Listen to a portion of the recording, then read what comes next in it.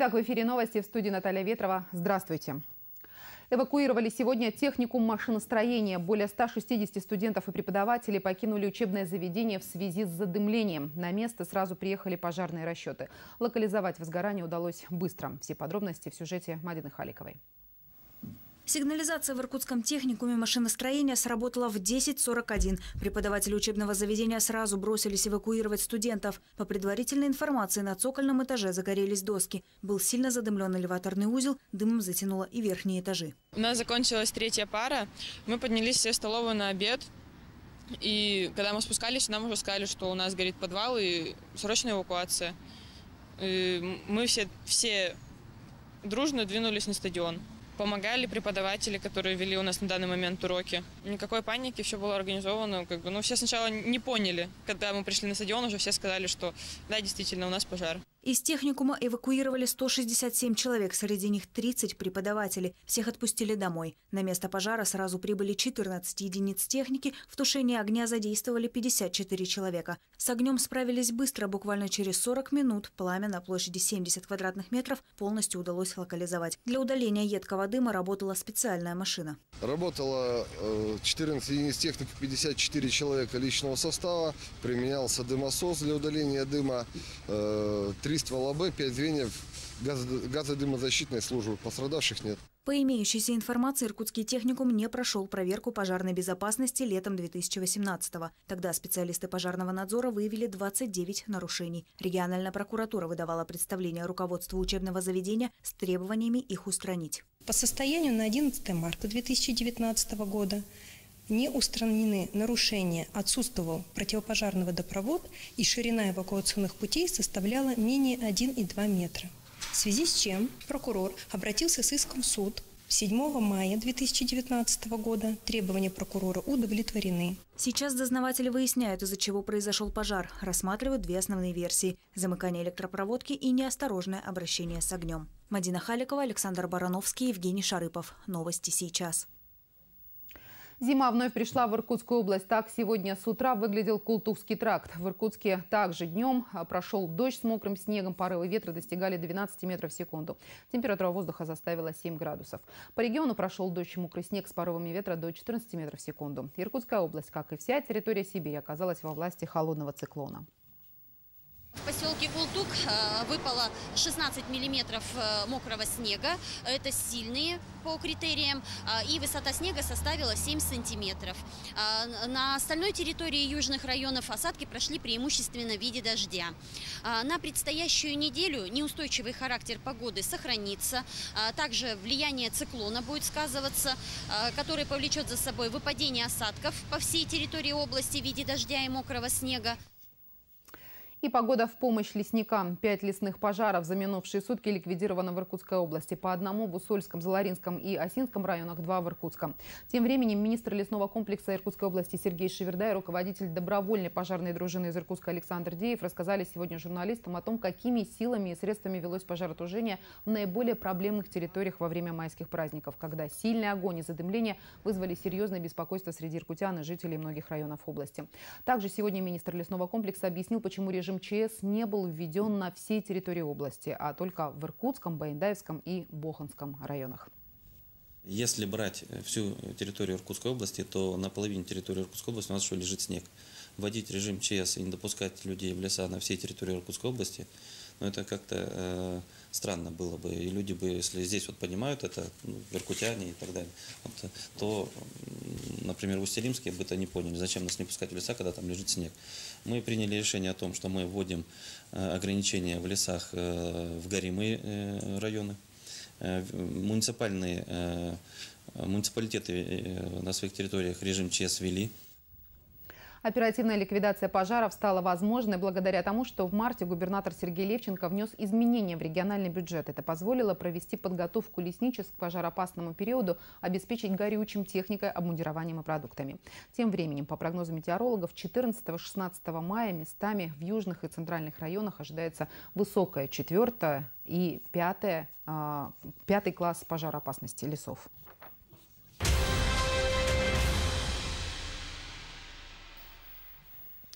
В 2020 году в Баендай откроют новую школу на 725 мест, а в селе Гаханы – среднее учебное заведение на 110 мест. Перспективным на сегодня Баендаевском районе активно идет также строительство больниц, фельдшерских пунктов, детских садов. Последние годы на территорию активно возвращается молодежь.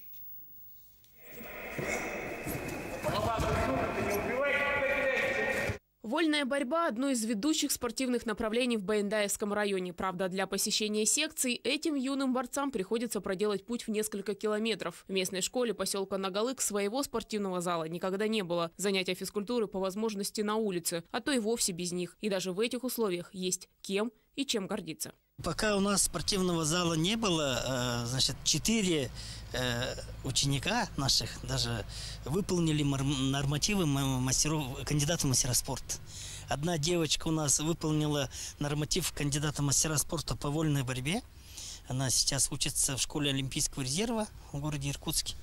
А, значит, трое выполнили нормативы кандидата мастера спорта по стрельбе из лука. Летом прошлого года долгожданное событие. Рядом с Наголыкской средней школой начали строить спортзал. На сегодня работа уже в стадии завершения. К 1 сентября, уверены, в этих стенах смогут уже начать занятия. Причем помещение будет доступно не только для школьников, но и для всего населения поселка. А глава Наголыка тем временем строит уже дальнейшие планы. Сама школа в приспособленном помещении. Дети учатся в здании бывшей конторы совхоза. На сегодня здесь 104 ученика. И это не предел для поселка. Население растет, открывают новые фермерские хозяйства. Необходимо необходимы новое здание школы и детского сада. 32 ученика, не ученика, детей ходят в этот садик, а очередь где-то 35 человек на сегодня. И еще деревня у нас э, в связи вот с тем, что развитое фермерское хозяйство, молодежь остается. Где-то на сегодняшний день почти десяток новых домов строится. Строительство нового здания Наголыкской школы на контроле у депутата Госдумы от Иркутской области Михаила Щапова. При этом сегодня власти ставят перед собой и новые задачи. В 2020 году в Байндае откроется новая школа на 725 мест. В Шаманке и Нухунуре уже в этом году откроет двери новый ФАП. Также запланирован ремонт пяти ФАПов в других населенных пунктах. В селе Гаханы строится новая школа на 110 мест. Мы с руководством района и области активно работаем в этих направлениях по всему Байндаевскому району. Новые социальные объекты, больницы, школы и детские сады необходимы как воздух, чтобы молодые семьи могли комфортно воспитывать новое подрастающее поколение. Яна Романова, Артур Щупкин. Новости сейчас. 257 человек умерли в Иркутской области от СПИДа в прошлом году. В их память сегодня зажгли 257 лампад. Так стартовала ежегодная федеральная акция «Стоп ВИЧ-СПИД». Иркутск стал первым городом России, где открыли мероприятие ко Всемирному дню памяти погибших от СПИДа. Его отмечают в третье воскресенье мая. На площади у Дворца спорта «Труд» волонтеры развернули мемориальное полотно «Квилт», работали мобильные станции тестирования. В Иркутской области сейчас живет почти 30 тысяч человек с ВИЧ. Основной путь передачи инфекции – половой при незащищенных контактах. Эпидемия Эпидемический процесс начал стабилизироваться, но ситуация по-прежнему сложная. В 2018 году по сравнению с 2017 годом заболеваемость от ВИЧ-инфекции в Иркутской области снизилась на 12,5%. Смертность на 29%. И это при том, что мы ежегодно на 2,5-5% на 5% расширяем количество тестируемых. Сегодня есть все необходимое для того, чтобы человек не умирал от СПИДа, а жил полноценной жизнью. Но для этого он должен вовремя сдать тест на ВИЧ. И сегодня в условиях вот такой заболеваемости каждый взрослый человек должен знать свой ВИЧ-статус. Акция «Стоп ВИЧ-СПИД» продлится до конца недели. Мобильные пункты будут работать в техникумах, университетах, больших компаниях Иркутска, а также в Ангарске и Шелихове. Но пройти тестирование можно не только на акциях, а в любой поликлинике по месту жительства бесплатно и анонимно.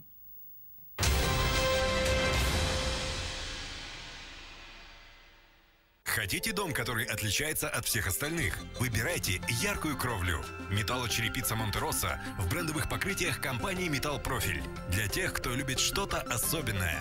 Телефон горячей линии офиса продаж 480 288.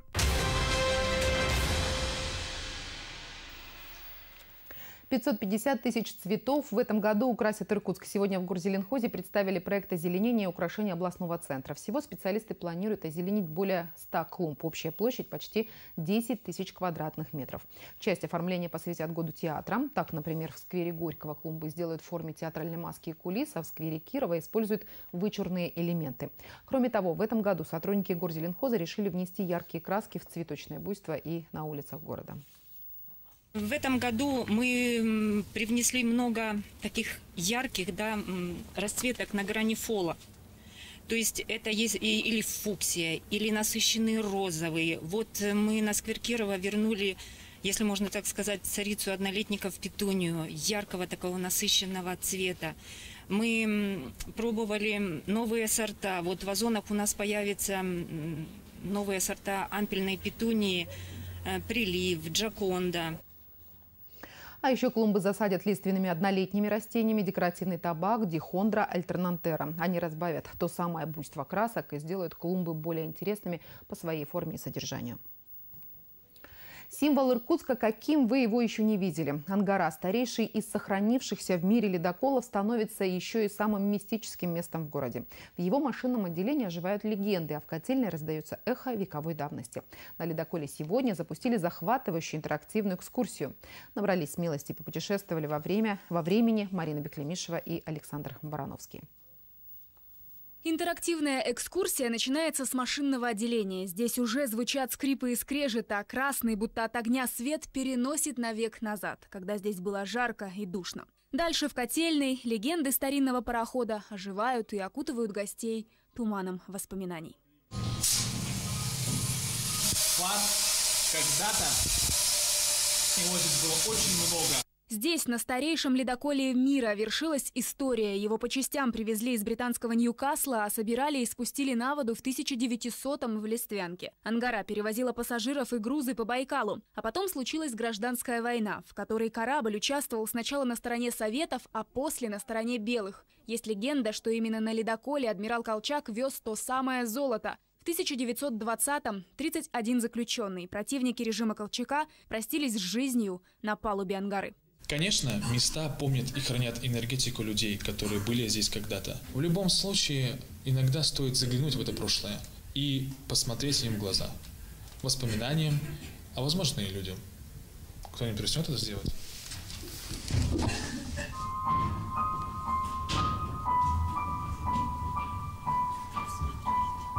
В полутьме котельной каждый шаг – это преодоление. Иногда интерактивная экскурсия перестает напоминать экскурсию, и человек остается один на один с настоящей историей, со всеми ее мифами, легендами, ужасом. Сейчас мы находимся в самом сердце ледокола «Ангара», в котельной. Здесь можно все внимательно рассмотреть, борясь со своим страхом и жутким холодом.